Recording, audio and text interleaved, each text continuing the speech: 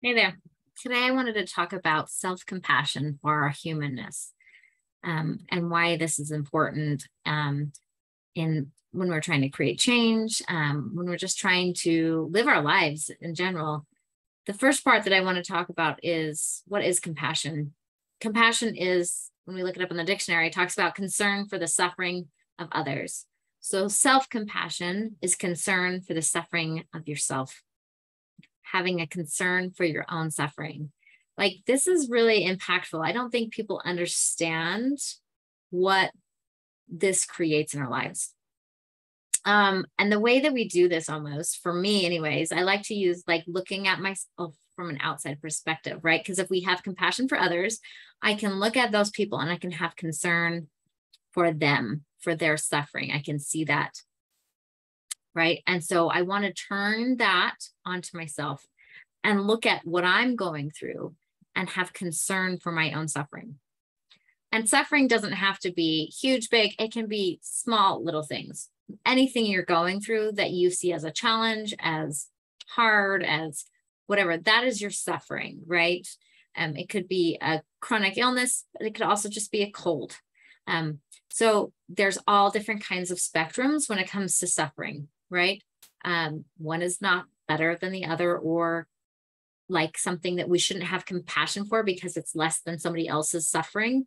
Um, no, we want to have compassion for wherever you are at.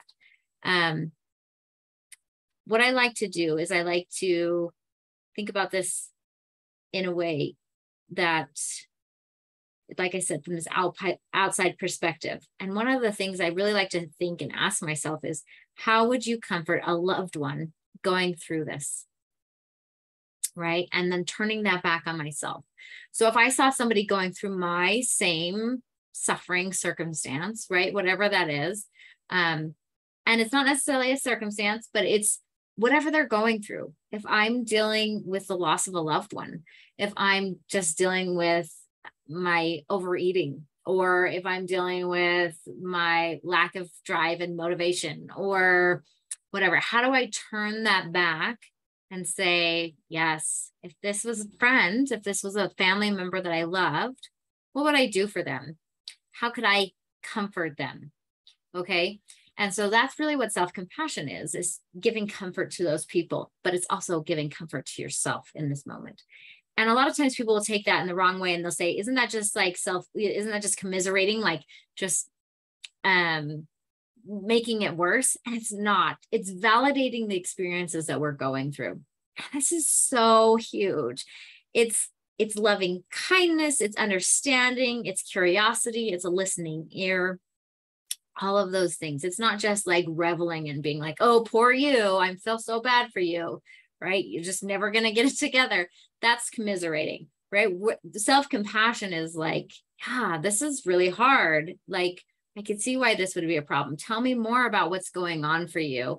Um, it's like let's work this through together right which is kind of an interesting concept when you are talking about self-compassion but it's it's curiosity it's understanding why we're feeling this what we're going through. It's looking at this from all different angles. This compassion for ourselves will do so much more than um, like i said the self-validating compassion will do so much more than just looking at somebody and saying or ourselves and saying you're what's wrong with you? Why are you doing this? Um, just get over it um, all those kinds of things that we tend to tell ourselves like those things actually don't create change and they just ignore the experience that we are having. And so we have to look at that experience and look at our humanness and and connect with that. And it's so deep and visceral but it makes us feel seen and heard. And this is so important to creating change, to that validation, right? So, yes, we can get compassion from others, but we can't always. And so that's why it's so important to always have it coming from us as well. So we can look at this experience that we're having and saying, yeah, this is this is something that you're going through, right? And you know, the last little bit is the empowerment part. So once we feel this comfort right? We we love on ourselves. We we listen to ourselves. We have curiosity for ourselves. We start to understand ourselves.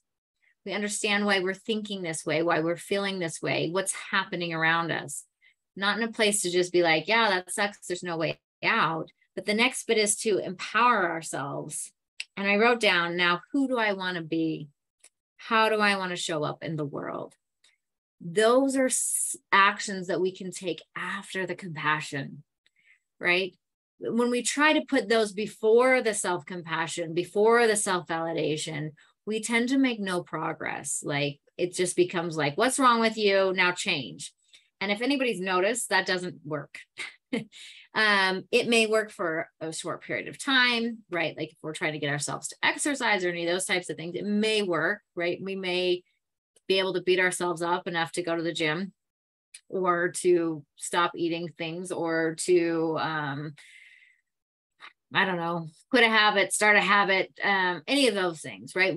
But this it just it doesn't stick right? And so once we can really look at this part of ourselves and say what's really going on for me? then that is when we can say okay this is the situation. This is what I'm thinking. This is what I'm feeling. Now, how do I take the next steps forward? Right? We can move forward through that versus the other where is very much shame. Um, something's wrong with you, right? Like just get over it. Why can't you move on? All of those things, they don't work. They just don't. Um, we can see this very clearly in kids as we like look at children um, in school systems and those types of things where you have one teacher and you've probably all gone through this had a teacher where you've had this experience where you felt loved and you wanted to grow and you felt understood and you felt that's a different experience than having a teacher come in and say why can't you get this? What's wrong with you? And i don't know if everybody's had that same experience. I know i haven't so it feels very relatable. But right the difference in how we then show up right? So having self compassion actually creates change. But here's the other thing it may not. So we can take this self compassion from a different point of view of like, well, I'm going to have self compassion for myself. And there, then, then I can change, right? The thing that you'll find is like, um, I'll just take it back to food and eating, right? Like, so then we look at like the eating side of things and we're like, okay, so you want to eat, right? And then you're like, I'm going to have self compassion for myself to change. It it goes in direct conflict with these things. It's almost like we have to be in this place of not expecting the change, not because we don't need the change to happen, right? That's actually what creates the change. Now, does change always happen? No, it does not always happen from a place of compassion. Sometimes, and this is where I've actually found a lot of my growth is in having compassion and just letting things be letting me be who i am and then experiencing this moment this this place in time. And there's a ton of growth in there. And the other side is like okay so why would i have compassion? Why do this? Why have the self compassion Be- and like I said, because the other doesn't work, beating myself up, shaming myself, telling me I got to do better, I got to change, you know, all those different things, it doesn't work.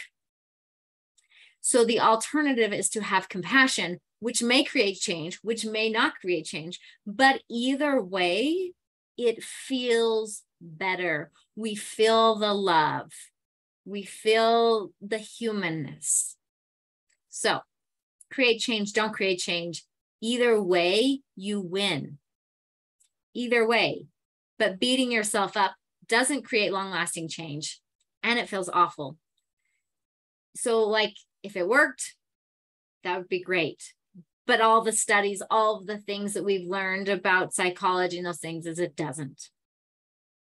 Right. And so, this understanding of yourself, this getting to know what's going on, having compassion, how to comfort yourself in these moments, how to have understanding and curiosity and listen to yourself.